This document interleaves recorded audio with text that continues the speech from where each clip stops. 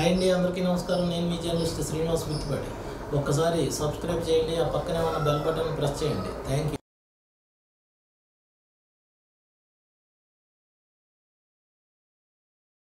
Bollywood hero Sushant Singh Rajput ఆత్మహత్యపై రకరకాల ఊహాగానాలు వినిపిస్తున్నాయి. అతను ఆత్మహత్య చేసుకోలేదని హత్య చేశారని తనంతట తాను ఆత్మహత్యకు పాల్పడేలా ప్రేరేపించారనే ఆరోపణలు వెల్లువెత్తుతున్నాయి. సామాజిక మాధ్యమాల్లో సుశాంత్ మరణించిన తీరుపై పలు అనుమానాలు వ్యక్తమవుతున్నాయి. తాజాగా దావూద్ హస్తం ఉందనే ఆరోపణలు సంచలనం సృష్టిస్తున్నాయి. నేపథ్యంలో సిబిఐ విచారణకు డిమాండ్లు కూడా పెరుగుతున్నాయి. ప్రముఖ న్యాయవాది సుబ్రహ్మణ్యం స్వామి ప్రధానమంత్రికి లేఖ రాయడం రామ్ గోపాల్ వర్మ కూడా సుశాంత్కి ఆత్మహత్య చేసుకోవాల్సిన అవసరం ఏమొచ్చింది అనడం తాజా తాజాగా మాజీ ప్రియురాలు రేఖా చక్రవర్తి కూడా సిబిఐ విచారణ చేయాలని కోరడంతో వాతావరణం వేడెక్కిపోయిన నేపథ్యంలో ఎందుకు సిబిఐ విచారణ చేయాలి? అసలు ఏమిటి ఆ ప్రజలకు వచ్చిన అనుమానాలు. మీ జర్నలిస్ట్ పరిశోధనాత్మక కథనం మీకోసం.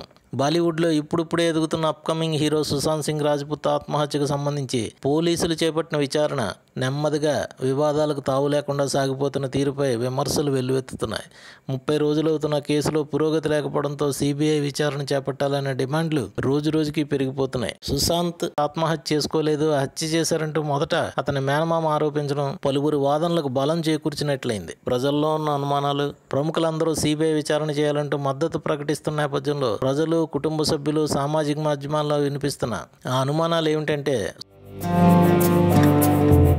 సుశాంత్ ఈ మధ్యకాలంలో యాభై సిమ్ కార్డులు మార్చి తన ఫోన్ నెంబర్ మార్చాల్సిన అవసరం ఏమొచ్చింది? ఏమైనా బయట నుంచి ఆరోపణలు వస్తున్నట్టు దావూద్ గ్యాంగ్ బెదిరిస్తుండడం వల్లనే తను ఇన్ని సిమ్ కార్డులు మార్చాడా? తను మార్చిన అన్ని నెంబర్లు కూడా వాళ్ళకి ఎలా తెలిసాయి? అంటే తనకు బాగా దగ్గరగా ఉన్న వారిని ఆ గ్యాంగ్ బెదిరించి కొత్త నెంబర్లు తెలుసుకున్నారు? ఇంతకీ ఆ దగ్గరగా ఉన్న వ్యక్తి ఎవరు? సుశాంత్ ఆత్మహత్య చేసుకునే టైంలో తన పెంపుడు కుక్కని ఎవరు గదిలో బంధించారు? ప్రస్తుతం ఆ పెంపుడు కుక్క సుశాంత్పై బెంగతో చనిపోయిందా? ఆ కుక్క ద్వారా పరిశోధనను ఎందుకు ముందుకు సాగించలేదనే దానిపై పలు అనుమానాలు వ్యక్తమవుతున్నాయి.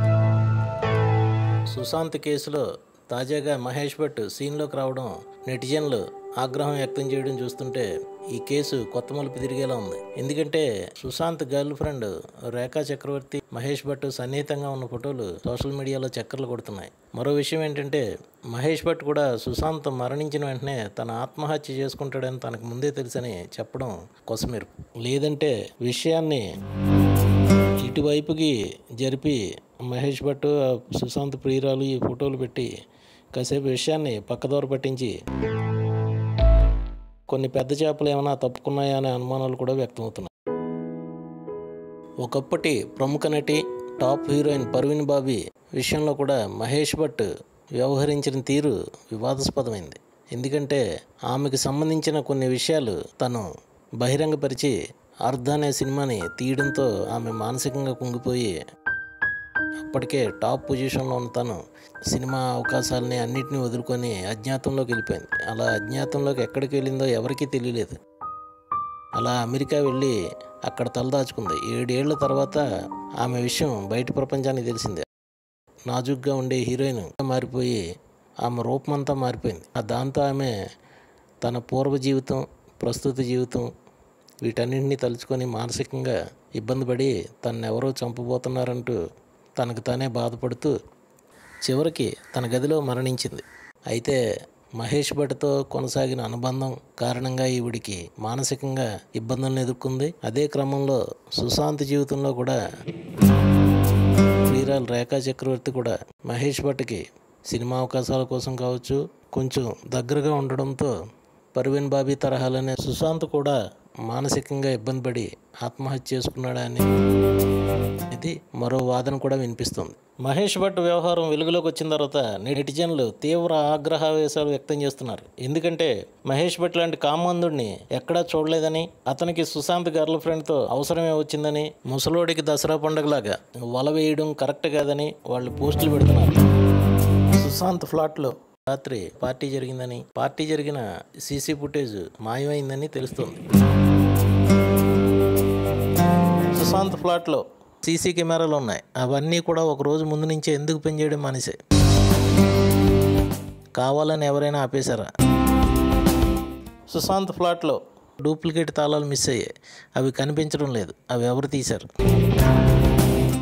సుశాంత్ ఫ్లాట్లో పనిచేసే సర్వెంట్ ఏం చెప్పాడు?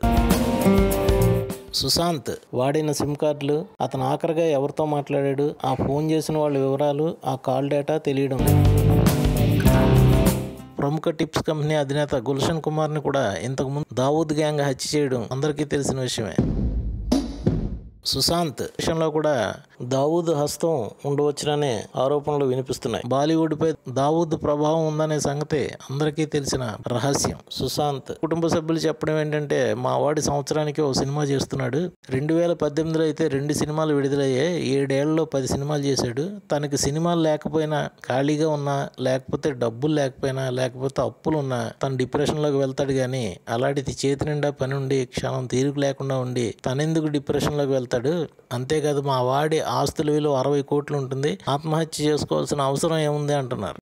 హీరోయిన్ కంగనా రనౌత్ అయితే సుశాంత్ ఇంజనీరింగ్లో మంచి ర్యాంకరు. అంత బాగా చదువుకొని చాలా తక్కువ సమయంలో మంచి పికప్ తీసుకుని వెళ్తున్న తను ఎందుకు ఆత్మహత్య చేసుకుంటాడు అంటున్నారు. బాలీవుడ్లో మంచి పట్టున్న ప్రముఖ దర్శకుడు రామ్ గోపాలవరం చెప్పేది ఏమిటంటే ఈరోజు సుశాంత్ మార్కెట్ విలువ డెబ్బై ఐదు కోట్లు. తను ఎలాంటి సినిమాలో నటించినా జయాపజయాలతో సంబంధం లేకుండా ఆ డబ్బులు ప్రొడ్యూసర్స్కి వస్తాయి తనతో ఆ బార్డర్లోనే సినిమాలు తీస్తారు. నిజానికి డెబ్బై ఐదు కోట్ల మార్కెట్ అంటే చిన్న విషయం కాదు. అతను ఆత్మహత్య చేసుకోవాల్సిన అవసరమే లేదన్నారు. అతను సిమ్ కార్డులన్నీ మార్చడం అనే దాన్ని బట్టి చూస్తే హత్య కాదు కానీ నన్ను ఎవరైనా బెదిరించి తనంతట తాను ఆత్మహత్య చేసుకునేలా ప్రేరేపించి ఉండవచ్చు అనే అందరూ బలంగా విశ్వసిస్తున్నారు. ఎందుకంటే అతను ఆత్మహత్య చేసుకోవాల్సిన అవసరం లేదనేది అందరికీ స్పష్టంగా అర్థమవుతుంది. ఇవన్నీ సామాజిక మాధ్యమాల్లో హల్చల్ చేస్తున్న అనుమానాల నేపథ్యంలో సిబిఐ ఎంక్వైరీ చేయాలనే డిమాండ్లు ఊపందుకుంటున్నాయి. ఈ క్రమంలో బాలీవుడ్ నుంచి స్వచ్ఛందంగా ప్రముఖ నటుడు యాంకరు హోస్ట్ అయిన శేఖర్ సుమన్ ముందుకొచ్చి సిబిఐ విచారణ కావాలంటూ పోరాడుతున్నారు. అంతేకాదు సుశాంత్ అభిమానులు కుటుంబ సభ్యులు ప్రజలు కూడా ఆయనతో కలిసి డిమాండ్ చేస్తున్నారు. అయితే అందరికీ తెలిసిన సంగతి ప్రముఖ బాలీవుడ్ హీరోయిన్ కంగనా రనౌత్ సుశాంత్ ఆత్మహత్య నేపథ్యంలో బాలీవుడ్లో జరిగే గ్యాంగిజం నెపోటిజంపై ఎంతో ధైర్యంగా మాట్లాడి బాలీవుడ్ బండారం అంతా బయటపెట్టారు తాజాగా సిబిఐ విచారణ చేయమని కోరే వారిలో తాను కూడా చేరడం విశేషం. ఈ సమయంలో ఊహించిన ట్విస్ట్ ఒకటి జరిగింది. అదేంటంటే వివాదాస్పద కేసులను వాదించడంలో పేరున్న ప్రముఖ న్యాయవాది కేంద్ర మంత్రిగా పనిచేసిన సుబ్రహ్మణ్యం స్వామి ముందుకొచ్చారు. సుశాంత్ కేసులో సిబిఐ ఎంక్వైరీ ఎంతవరకు అవసరం అనే సంగతి నిగ్గు తేల్చడానికి ఈ విషయమే వాదించడానికి తనే ఒక న్యాయవాదిని నియమించడంతో సుశాంత్ వ్యవహారం కొత్త మలుపు తిరిగింది. అంతేకాదు సరాసరి ప్రధానమంత్రికి ఒక లేఖ కూడా రాసి ఈ కేసును సిబిఐకి అప్పగించాలని కోరడం విశేషం. ఈ క్రమంలో సుశాంత్ మాజీ ప్రియురాలు రేఖా చక్రవర్తి తాజాగా ఈ రోజు మొట్టమొదటిసారి నోరు విప్పి మాట్లాడుతూ ఈ కేసును సిబిఐకి అప్పగించాలని కోరారు. ఇలా సిబిఐ విచారణ కోరుతున్న వాళ్ళతో కలిసి తన గళం విప్పారు. దీంతో వాతావరణం వేడెక్కింది. ఇది రోజు రోజుకు పెరుగుతూనే ఉంది. అందువల్ల ప్రజల కోరిక మేరకు సిబిఐ విచారణకు త్వరలోనే అనుమతి వస్తుందని అందరూ ఆశిస్తున్నారు. బీహార్ సీనియర్ రాజకీయ నేత స్వతంత్ర అభ్యర్థిగా ఇంకా పలు పార్టీల్లో నాలుగు సార్లు ఎంపీగా గెలిచిన పప్పు యాదవ్ తాజాగా సుశాంత్ ఆత్మహత్య కేసులో సిబిఐ ఎంక్వైరీ చేయాలని కోరడం విశేషం. దీంతో రాజకీయ రంగు కూడా పులుంకోవడంతో సుశాంత్ కేసుకి ఒక హైప్ క్రియేట్ అయింది. దీంతో అన్ని వర్గాల నుంచి కూడా సిబిఐ ఎంక్వైరీ కోసం డిమాండ్లు పెరుగుతున్న నేపథ్యంలో త్వరలోనే సిబిఐ ఎంక్వైరీ వేస్తారని అందరం ఆశిద్దాం. ఇకపోతే సినిమా ఇండస్ట్రీ పైకి తెరపై కనిపించినంత ఆదర్శంగా తెరపై కనిపించినంత దేశభక్తి చిత్రాలు తీసేంత గొప్పగా తెర వెనుక ఇంత దారుణాతి దారుణమైన పరిస్థితులు ఉండడంపై మరికొందరు తీవ్ర విమర్శలు చేస్తూ పోస్టులు పెడుతున్నారు. అయితే సినిమా ఇండస్ట్రీలో పెద్దలు ఏమంటున్నారంటే ఒకరిద్దరి వ్యవహారాలు చూసి మొత్తం అందరికీ వీటిని ఆపాదించవద్దని కోరుతున్నారు.